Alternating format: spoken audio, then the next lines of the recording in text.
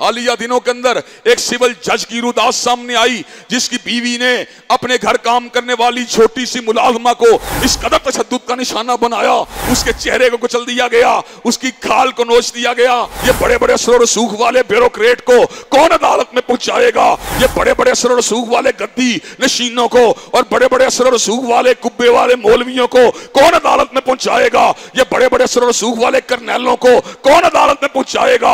हजरात ग्रामी कदर इस मुल्क को ज़रूरत है। रब्बे कदीर की कसम है, मियाँ साहब के निज़ाम की ज़रूरत नहीं, हान साहब के निज़ाम की ज़रूरत नहीं, पीपल पार्टी के दस्तूर की ज़रूरत नहीं। इस मुल्क को ज़रूरत है काली कमली वाले के कानून की ज़रूरत है। मुसावात बनी आदम, जो कि हमारे दीन की बुनियाद है। अमीर और गरीब सब बराबर हैं। हजरात ग्रामी कदर फजीलत का मैार तकवा है। कई लोग मुआशी, महरूमियों की वजह से लोगों के घरों के अंदर टाट लगाने पर मजबूर हैं। कई लोग गलियों के अंदर से गंदगी को उठाने के ऊपर मजबूर हैं, लेकिन जहाँ स्टेटस की बात की जाए, अल्लाह की नज़रों के अंदर मुसावात की बात की जाए, वो भी हमारे भाई हैं, वो भी हमारे बराबर हैं, और जो लोग मुआशरे के अंदर ताफुन को उठाते हैं, गलावत को उठाते हैं, दर हकीकत एक एतबार से वो हमारे पे एहसान कर रहे हैं कि जो काम कराहत की वजह से हम नहीं कर सकते, वो उसको अदा कर रहे हैं।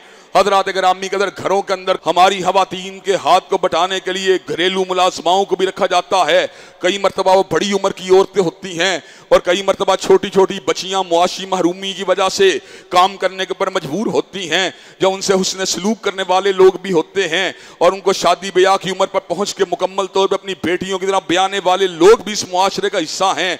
लेकिन कई लोग इतने शकील कलब है, उनकी आबरू रेजी का irtikab करते हैं, उनकी असमत को तार तार करते हैं और कई लोग जो होते हैं, उनको जिसमानी अजियतों का निशाना बनाते हैं। हजरात ग्रामी कदर भी हालिया दिनों के अंदर एक सिविल जज की रुदास सामने आई, जिसकी बीवी ने अपने घर काम करने वाली छोटी सी मुलाजमा को इस कदर तशद का निशाना बनाया, इस कदर तशद का निशाना बनाया, इस कदर जुल्म पर बरीत का निशाना बनाया कि उसके चेहरे को जिस तरह वहशी दरिंदे कुचल देते हैं, उसके चेहरे को कुचल दिया गया, उसकी खाल को नोच दिया गया, उसके सर के जो है बालों को खींच खींच कर उसके सर को जो है बकायदा तोड़ के ऊपर कुचल दिया गया।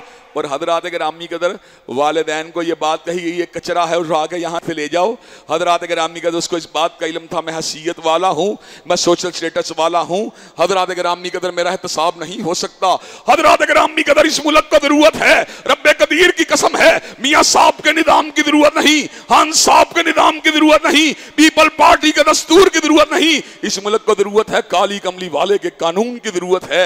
वो कमली वाले आका, जिन्होंने बनू महजूम की फातिमा के बारे में ये बात कही थी, जब उसामा इब्ने जैद सिफारिश लेके आए, आका बड़े हसब नसब वाली है, बड़े नामो शान वाली है तो मेरे आका ने कहा था लवन्ना फातिमा बिनत मोहम्मद साराकत लकता तू यदहा, अगर मोहम्मद का कल्ब अथर हो, हदीजा का लहते जिगर हो, अली का नूर नज़र हो, हसन हुसैन की मादर मोहतरम हो सैयदा जन्ना फातिमा भी अगर चोरी करे, नबी उसके भी हाथ को काट डालेगा हजरात ग्रामी कदर, ये बड़े बड़े सरोर सूख वाले ब्यूरोक्रेट को कौन अदालत में पहुंचाएगा? ये बड़े बड़े सरोर सूख वाले सरमायादारों को कौन अदालत में पहुंचाएगा? ये बड़े बड़े सरोर सूख वाले गद्दी नशीनों को और बड़े बड़े सरोर सूख वाले कुब्बे वाले मौलवियों को कौन अदालत में पहुंचाएगा? ये बड़े बड़े सरोर सूख वाले करनैलों को कौन अदालत में पहुंचाएगा? हजरात ग्रामी कदर, उसका एक ही रास्ता है। वो कमली वाले के कानून की तनफीस का रास्ता है।